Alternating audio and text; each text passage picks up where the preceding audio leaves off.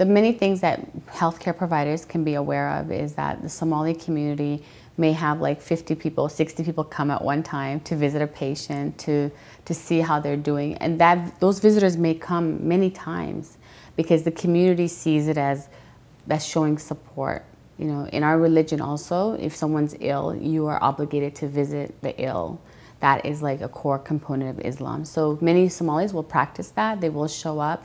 Um, I think the care, healthcare providers need to be sensitive to cultural understanding.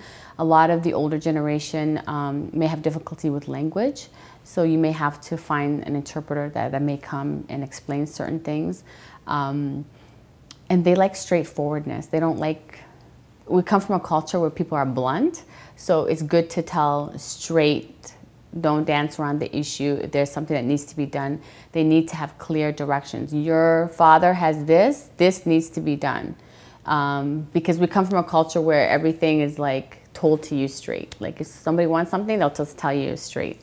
So if the healthcare providers can be more direct in the way they give um, diagnosis, the way they ask for instructions for uh, follow through, and also having somebody who can interpret that would be good for, for the community. Um, a lot of times we rely on family members, but I think if you have a clear person that's in between the healthcare provider and the other person, because you don't know the family member themselves could be internalizing some things, right? So I think those two would be good.